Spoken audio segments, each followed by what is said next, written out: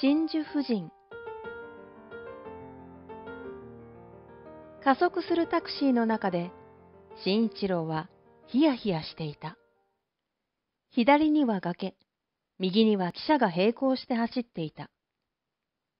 運転手はこの時代遅れの乗り物と競争するかのように、どんどん加速していた。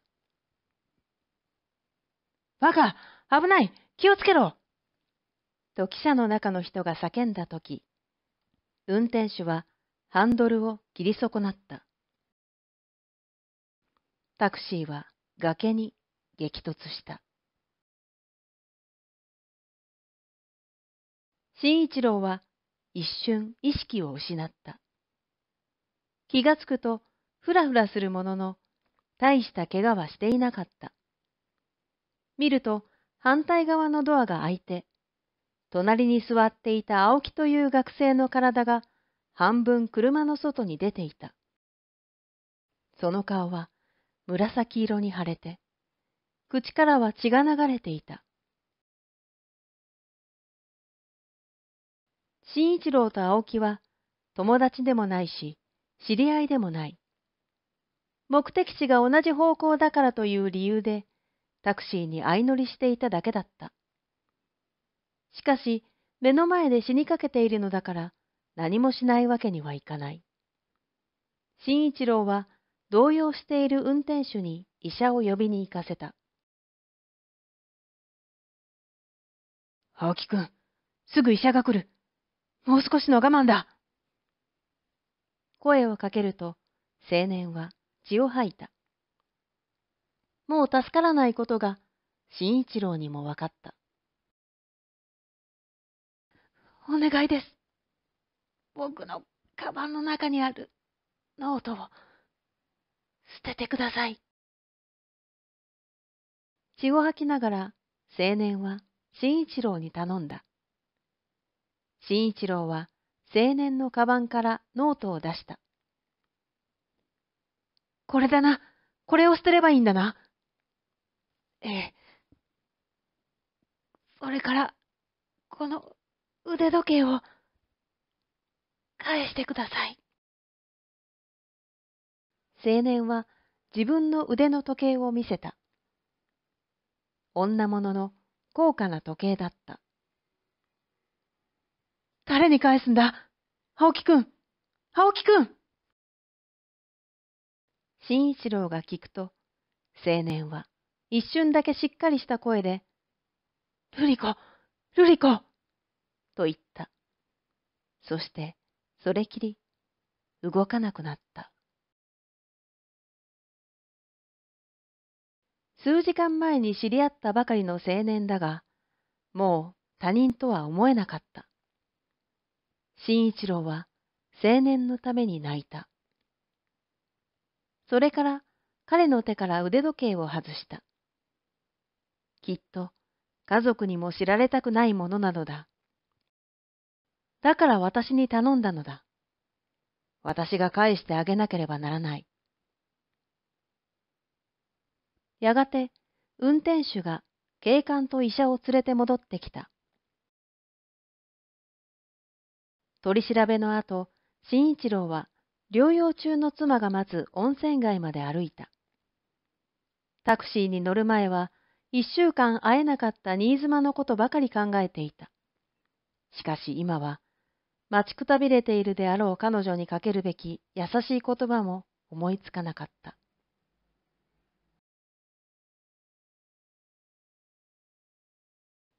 事故のことは次の日の新聞に詳しく書いてあった。亡くなった学生は青木男爵の長男、青木淳だった。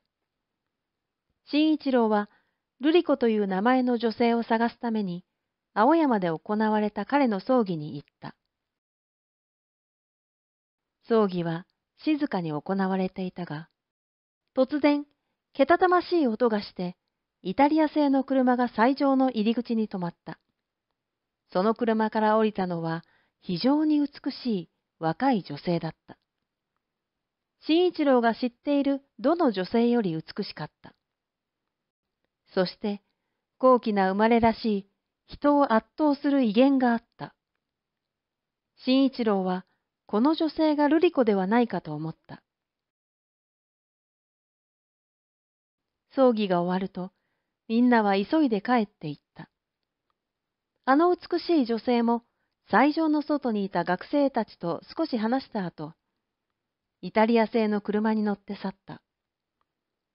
学生たちは喋りながら駅へ歩き出した。青木は事故で死んだそうだが、僕は自殺だと思ったよ。僕もそう思った。正田夫人に失恋してからおかしくなっていたからな。あんな遠いところまで行って死に場所を探していたんだろうな。青木のことをよく知っている友達のようだった。新一郎は思い切って声をかけた。あの、ちょっと聞きたいんだが、あのイタリア製の車で来た女性は誰ですか？学生たちは哀れむような目で新一郎を見た。正田夫人ですよ。正田瑠璃子さんです。やはり彼女が瑠璃子だった。正田瑠璃子といえば、唐沢男爵の娘で、成金の中年男と結婚したと新聞で読んだことがある。新一郎は正田瑠璃子に直接会って時計を返さなければならないと思った。ちょっと用があって、あの奥さんとお話ししたいんだが、誰か紹介してもらえないかな。新一郎が言うと、学生たちはあざけるように笑った。美しい女性に興味があるだけの公職な男だと思われたようだった。一人が笑いを噛み殺しながら言った。僕たちはあなたのことを全然知らないのだから紹介できませんよ。それより直接会いに行ったらいかがですか？夫人といっても、ご主人はもう亡くなって今は未亡人だし。それに自由な方ですから誰でも会ってもらえますよ。新一郎は正田夫人の住所を聞いて会いに行った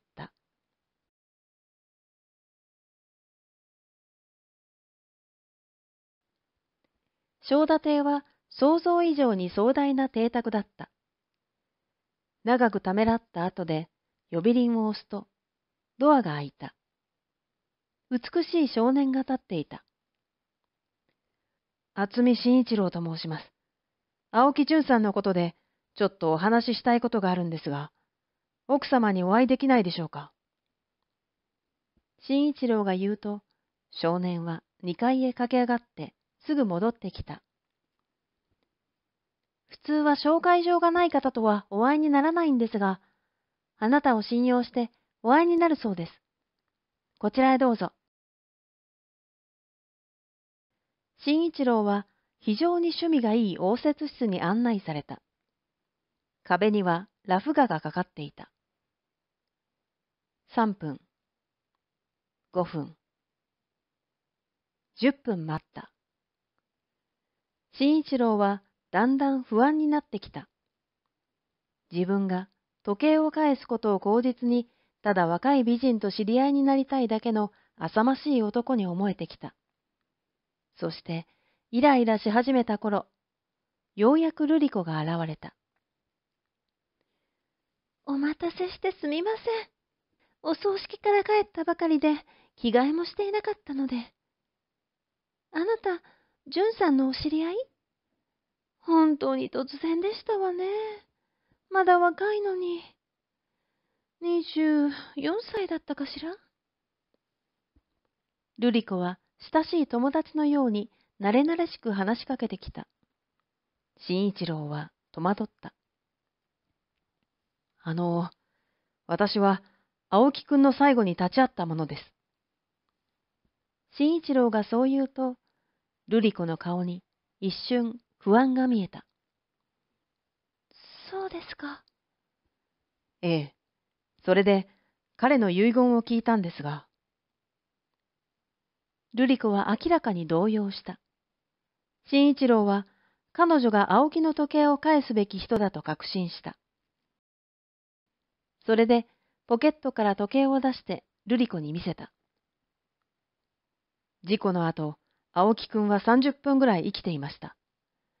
その時私に、この時計を返してほしいと頼んだんです。どなたに返すんですか？瑠璃子の顔は一度赤くなってから冷たく白くなった。それがわからないんです。聞きましたが、彼はもう答えられませんでした。それから最後に、ルリコ、ルリコと言いました。それで彼はあなたにこれを返したかったんだろうと思ってこちらへ伺ったんです。夫人はそれを聞いて安心したようだった。落ち着いて新一郎に言った。残念ですが、私のじゃありません。でも、多分、私が知っている女性のものです。私から彼女にお返ししておきますわ。瑠璃子にそう言われると、新一郎には断る理由がなかった。そうですか。では、お願いします。用事はあっけなく終わった。帰ろうとすると、瑠璃子が呼び止めた。厚美さん、これをもらってください。お近づきの印に。それは慈善団体の音楽会のチケットだった。ぜひ来てくださいね。では、またその時に。新一郎は、瑠璃子に何か不自然さを感じた。丸め込まれたような気がした。それで、青木から託されたノートを思い出した。旅行カバンに入れたまま、まだ読んでいなかったのだ。新一郎は家へ帰ると、急いでそのノートをカバンから取り出した。そこには、乱れた字でこう書かれていた。彼女は雲だ。彼女は男たちを罠にかけて、彼らが苦しむのを見て楽しんでいる。二月、彼女は僕に時計をくれた。大切な時計だと言った。僕は自分が彼女にとって特別な存在なのだと思って舞い上がった。しかし、全く同じ時計を村上海軍隊員が持っていたんだ。彼女はみんなに同じように、私の大切な時計をあなたにだけあげると言って、男たちを翻弄して恥ずかしめていたのだ。彼女は恐ろしい毒蜘蛛だ。それなのに、僕は彼女が忘れられない。忘れるためには、彼女を殺すか、自分が死ぬしかない。新一郎は時計を瑠璃子にただ渡してしまったことを後悔した。あの時計は、青木を死ぬほど苦しめた瑠璃子に叩き返さなければならなかったんだ。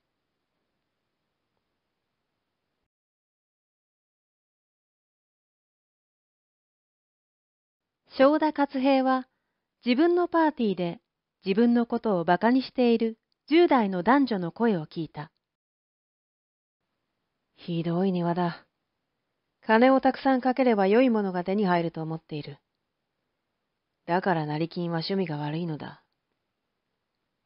そんなことを言ってはダメよ。分かっていたのに来てしまった私たちが悪いんだから。僕はね、仕事を楽しんでいる実業家は好きだが、金で人を支配するためだけに金を稼いでいるような成金は、特に戦争を金儲けの機会だと考えるような人間は、我慢できないんだよ。正田は戦争特需で金持ちになって、今や政治家も家族も金で従わせることができる男だった。しかし、その若い男女は、金で買うことができない本物の優雅さを持っていた。特に少女の美しさは別格だった。正田が知っている女たちは、みんな人工の飾りでしかなかった。しかし、この少女は天然の真珠のように美しかった。それで、正田は余計に腹が立った。この若者たちに金の力を思い知らせてやろうと思った。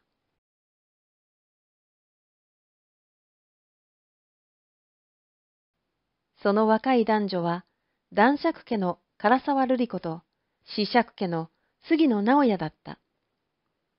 二人は大学を卒業したら結婚するつもりだった。ある日、直也の父親が瑠璃子の家へ来て、唐沢男爵に言った。瑠璃子さんに縁談があるんだ。瑠璃子は直也との結婚を杉野子爵が許したのだと思って嬉しくなった。しかし、子爵は続けてこう言った。正田勝平という男だ。瑠璃子さんと結婚するなら、大金を出すと言っている。瑠璃子の父は激怒した。それは縁談ではありません。あなたは私に娘を売れというのか恥を知りなさい。瑠璃子は泣いた。悔しさと怒りで涙が止まらなかった。自分の恋人の父親を使って自分を買いに来る正田という男が本当に許せないと思った。しかし、事実、唐沢家には巨額の借金がある。数日後、借金の債権者が正田勝平に変更されたという通知書が3通続けて唐沢の家に届いた。そしてとうとう、ある日、正田が唐沢の家へ来た。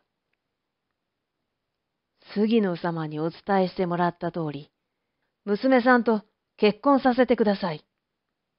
娘さんと結婚したら、私たちは家族ですから、借金は返さなくてもいいですよ。唐沢男爵は正田を嘲笑った。人の娘を金で買うという恥知らずな男に、娘を差し出す親がどこにいる？帰ってくれ。正田は怒って帰って行った。しかし、唐沢男爵には巨額の借金を返すあても、他で借りるあてもなかった。正田への借金返済の期限が来た。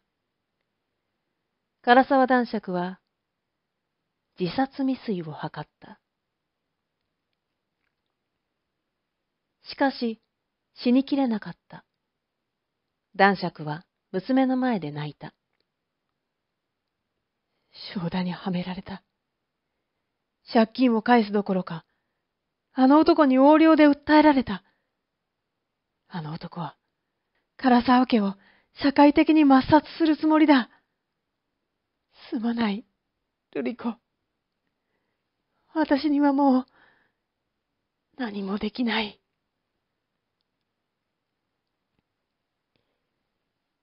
お父様、私は、ユデトになります。ルリコは父に誓った。昔、レトリアという都市が敵に囲まれたことがありました。その時、美しい少女が一人で敵将の陣営に行きました。そして、敵将と二人きりになった夜、彼を殺しました。それが、ユディトです。ルリコは結婚を承諾する手紙を正田へ送った。それと同時に恋人の杉野直也にも手紙を送った。直也さん、私は体も心もあなたのものです。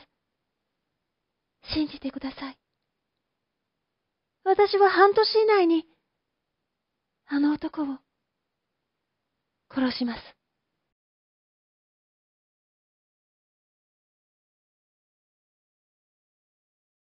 ウェディングドレスを着た瑠璃子はいつにも増して美しかった。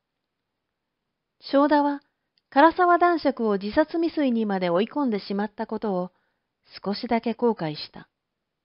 そして、この若く美しい花嫁が自分をどう思っているかが気になった。今までは金だけが彼の誇りだったが、今はそれよりもっと誇らしいものを得たような気がした。ルリコ、あなたのお父さんをいじめて悪かったと思っている。実は、恥ずかしいんだが、パーティーであなたを見てから、あなたを好きになってしまったんだ。ルリコは一瞬、皮肉な微笑を浮かべた。この男は、女なら誰でもそんな言葉を聞いて喜ぶと思っているのだ。ルリコはすぐに延然と笑っていた。そんなに私を好きでいてくれたんですね。嬉しいですわ。正田はその笑顔を見ると、魂を奪われたように呆然となった。結婚式の晩、ルリコは実家に電話をかけた。それからすぐに泣きながら正田に言った。父の容体が急変したそうです。すぐに帰ってもいいでしょうか？ねえ、あなた、お願いです。正田は自分をあなたと呼んで胸に泣き崩れる瑠璃子に感激した。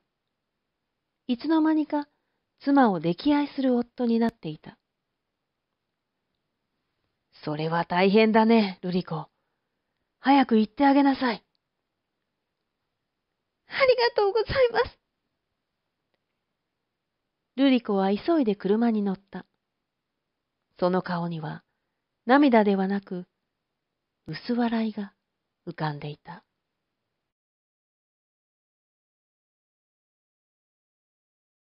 正田には前妻との間に二人の子供がいた。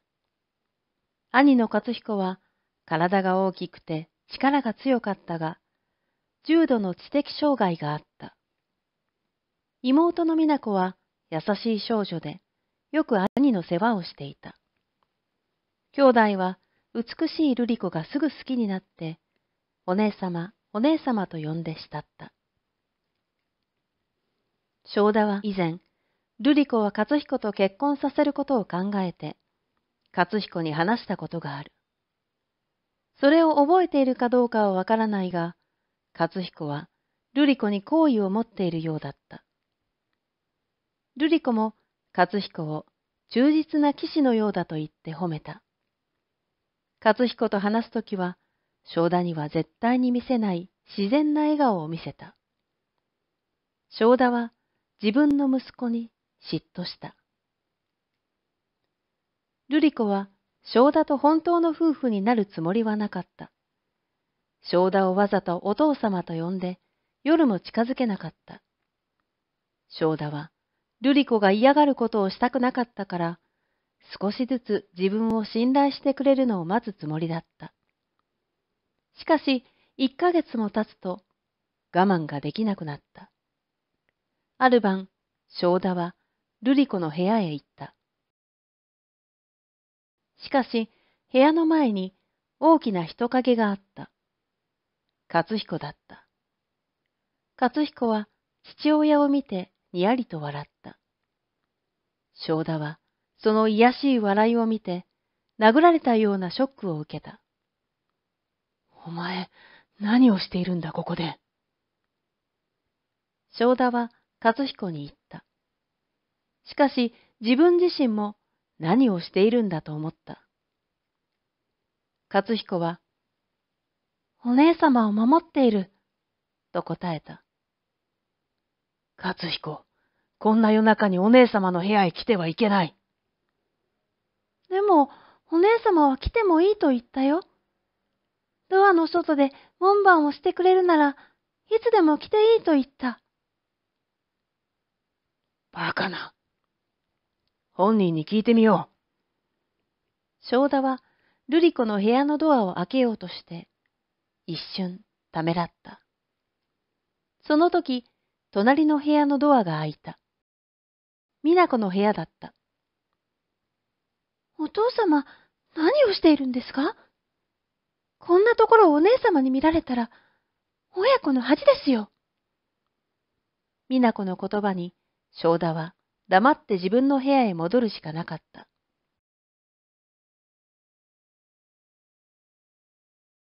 和彦が邪魔だ。と正田は考えた。そうだ。葉山の別荘へ行こう。瑠璃子と二人だけで葉山の別荘へ行ったら、邪魔する者はいない。それで次の日の朝、瑠璃子に言った。最近頭が痛いから医者に診てもらったら、ストレスだそうだ。海岸へでも行って少し療養したらいいと言われた。葉山に別荘があるんだが、一緒に行かないか。瑠璃子は正田が何を考えているのかすぐに分かった。しかし、だからといって断るのも敵前逃亡のようで嫌だった。素敵ですね。ぜひ私も行きたいですわ。そうか、一緒に行ってくれるか。正田は心から喜んだ。瑠璃子はどうやってこの危機に対処するかを考えた。そして、花嫁道具の担当を旅行カバンに入れた。葉山へ行く話を聞いて、勝彦は驚いた。自分も一緒に行くと言って旅行カバンを出してきた。出発の朝、自分が一緒に行けないことを知ると、勝彦は暴れた。父と瑠璃子が乗った車を追いかけて、執事や書生など数人の男たちに抑えられた。あんなに一緒に行きたがっているのに、連れて行ってあげましょうよ。瑠璃子が後ろを見ながら言うと、正田は怒った。バカを言うな。そして運転手に言った。まだ暴れるなら、しばらく監禁してしまえ。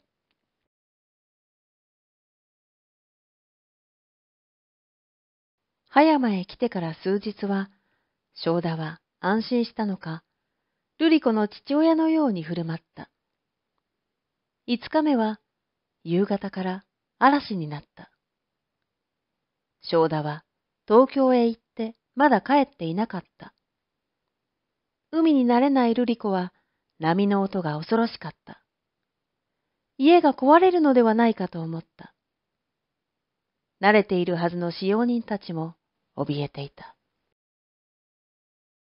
瑠璃子は初めて夫にそばにいてほしいと思った。夜になると、ますます雨風が強くなった。瑠璃子が恐怖に震えているとき、外からクラクションの音が聞こえた。正田が帰ってきたのだ。瑠璃子は安心した。その時、夫に対して自分が信頼と愛情を抱き始めていることに、瑠璃子は気がついた。お帰りなさい。大変だったでしょ？瑠璃子の言葉と気持ちが初めて一緒になった。大したことはなかったよ。瑠璃子さんが怖がっていると思ってね。予定より早く帰ってきたんだ。体が冷えた。酒を用意してくれないか。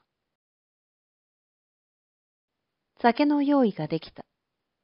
正田はいつもより機嫌が良かった。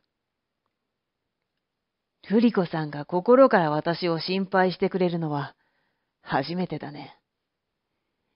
そんなことありませんよ。いいえ、私は知っています。瑠璃子さんは、私を嫌っている。当然です。はじめは、私を馬鹿にしたあなたへの嫌がらせのために、私はあなたと無理やり結婚したんですからね。しかし今では、私は、あなたを本当に愛してしまった。逆に、あなたが私を自由にもてあそんでいるんです。私はあなたの前にひざまずいて、金では買えないものを愛願しなければならない。いいえ、そうしたいんです。もう私は、あなたがいなければ生きられない。ルリコさん、私の心を少しは分かってくれますか？お願いです。私の本当の妻になってください。若い男が恋人に告白するような真剣な言葉に、ルリコは目をそらした。今まで正田を最低な男だとしか思っていなかった。しかし、今この男に人間的な善良さや弱さを見た。自分が彼の情熱に心を動かされているのを感じた。しかし、ルリコは父に誓った復讐を思い出して、冷たい笑顔で言った。何を言っているのかわかりません。私は最初からあなたの妻ですわ。正田は絶望した。はあ、あなたは私を絶対に許さないのですね。その美しい笑顔の下には、私への憎悪と嘲笑しかないのだ。あなたはその笑顔で私を苦しめる。私だけではない。勝彦まで悩ませている。あなたが私を人間と思わないなら、私も、獣としてあなたに迫るしかない。正田は立ち上がった。瑠璃子は恐怖を感じて、蒼白になった。夜十二時を過ぎていた。使用人たちは嵐の音で何も気づかなかった。やめてください私はあなたの奴隷じゃありません恥を知りなさい瑠璃子は正田の手をかわしながら叫んだ。自分の荷物から担当を出そうとしたが、下の方に入れていたので、すぐに取り出せなかった。正田が瑠璃子の腕を掴んだ。その時だった。瑠璃子の後ろの窓が開いて、強い雨風が部屋の中に吹き込んだ。ランプの明かりが消えた。一つの黒い影が部屋の中に飛び込んできて、正田に襲いかかった。真っ暗な部屋の中で二人の男たちが殴り合う恐ろしい音がした。相手は正田より強いようだった。強盗だ？強盗だ？早く潮にも呼んでこいルリコ正田の声は悲鳴だった。ルリコは自分を襲おうとした男が襲われているのを見て、皮肉な快感を感じていた。ルリコルリコ早く早くルリコの中で正田への憎しみと、助けなければならないという人間的な気持ちが争った。苦しい殺される殺されるルリコはようやく我に返ったように台所へ走った。恋人の杉野直哉が助けに来たのではないかと考えた。強盗だと聞いて、別荘版の老人は猟銃を持ってきた。今に戻ると、正田は倒れて、死にかけていた。強盗はどこへ行きましたか？別荘版の老人が聞いたとき、部屋の隅から笑い声が聞こえた。ルリコはぞっとした。誰だ？撃ち殺すぞ老人が猟銃を向けた。その時、正田がうめいた。撃つな。勝彦だ。老人は驚いて、笑い声がした方へランプの明かりを向けた。勝彦がいた。雨でずぶ濡れになっていたが、瑠璃子を見ると、少し顔を赤くして笑った。初彦さん、どうしてお父様にこんなことをしたんですか？瑠璃子が聞いた。勝彦は、もじもじするばかりで答えることができなかった。しかし、もし勝彦が本物の騎士だったら、勇ましく、あなたを守るためにと答えただろう。医者を待つ間、正田は瑠璃子に言った。瑠璃子さん、私が悪かった。許してくれ。瑠璃子の冷たい心でも、もうすぐ死ぬ男の言葉を信じないわけにはいかなかった。瑠璃子さん、勝彦と美奈子のことを頼みます。あなたしか頼む相手がいないんだ。お願いします。私の罪は許せなくても、私の子供たちに罪はない。どうか、子供たちの世話をしてください。頼みます。和彦。和彦。父は息子に最後の言葉を言おうとした。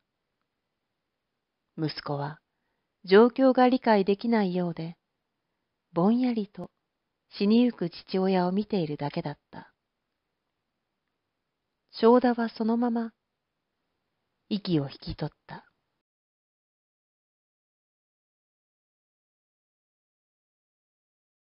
瑠璃子の戦いは終わった。